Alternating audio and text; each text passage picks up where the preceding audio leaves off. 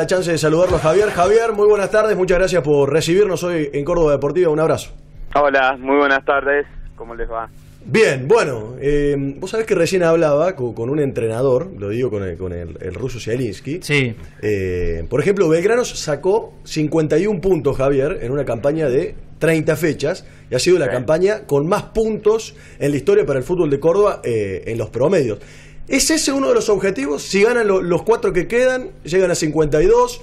Eh, ¿Cómo toman estas últimas cuatro fechas?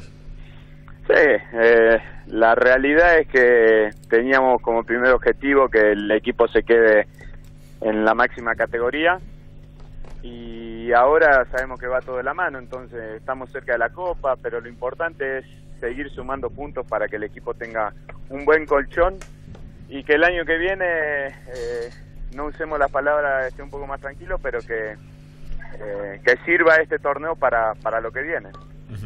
Javier, eh, eh, ¿y cómo estás analizando el rendimiento del equipo en las últimas fechas, donde por ahí uno observó algún tipo de irregularidad, sobre todo en el comportamiento defensivo?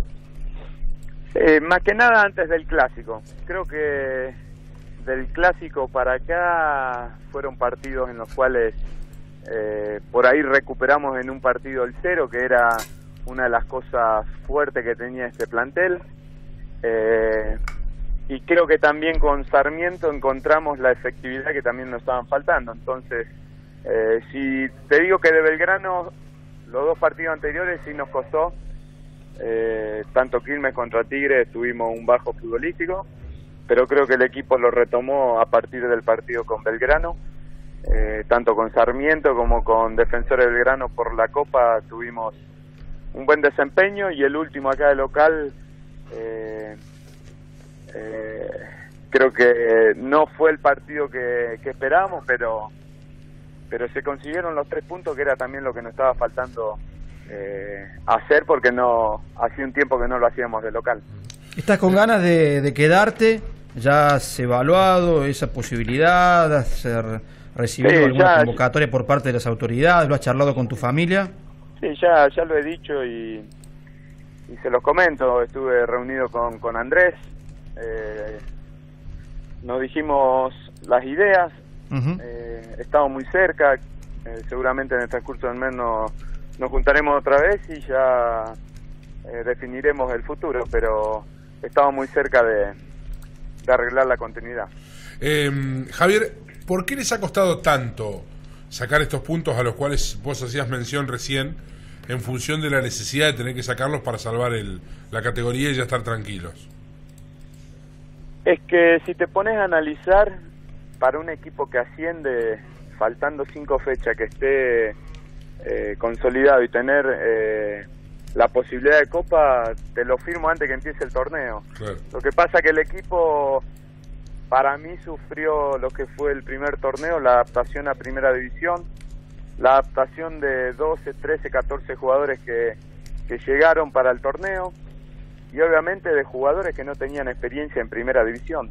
Entonces es un conjunto de cosas que, que hicieron que, que el arranque del torneo, te estoy hablando del año pasado, las primeras cinco fechas, no nos olvidemos que no, no podíamos conseguir el triunfo, pero el equipo creo que hay que resaltar que, que tiene un estilo desde la fecha 1 hasta la fecha eh, que vamos a jugar o que jugamos, que, que, lo hemos defendido. Entonces es difícil, más que nada por cómo sabemos que es el fútbol, que es vertiginoso y demandante de resultado. Entonces eh, yo creo que, que si lo analizás fríamente el equipo viene haciendo un torneo muy bueno y esperamos terminarlo aún mejor. Javier, has participado en casi todos los partidos del torneo. Eh, si hacemos una tabla de méritos y con tu experiencia, ¿está bien la cantidad de puntos que tiene hoy Talleres o debería tener alguno más?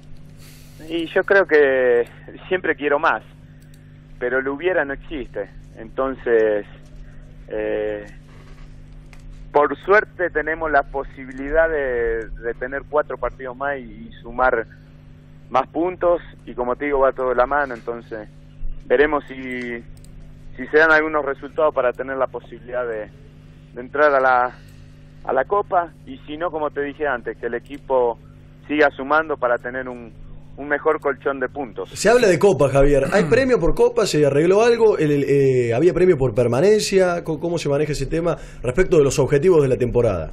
Sí, eso, eso lo maneja internamente el club, así que como tenemos multa, tenemos premio, así que... está bien. Está bien, está Fíjate- bien. fí- fíjense un detalle, ¿no? Repasado la tabla de posiciones y de los promedios. Sí. Talleres, el campeonato que viene arranca décimo en los promedios. De 28 equipos, porque ya le pongo los dos que van a descender. Claro. Digo, la importancia de obtener, no sé, ¿cuántos quedan? 12, muchachos. Sí. Digo, con 6 más terminás con 46, sería realmente un campañón, Javier. Y claro, sacar Sí. 16 es garantizar el promedio de uno, por lo menos en 16 derrotas del campeonato siguiente. O sea, Sacando, Sí. ¿cuánto decís vos? si saca 46, Está bien. garantiza el promedio de uno. Eh, se están yendo a, a la B Nacional con un torneo de 30, con un promedio de uno, unos, un- no llega a unos cual. 100. Por eso, por eso lo que sería sacar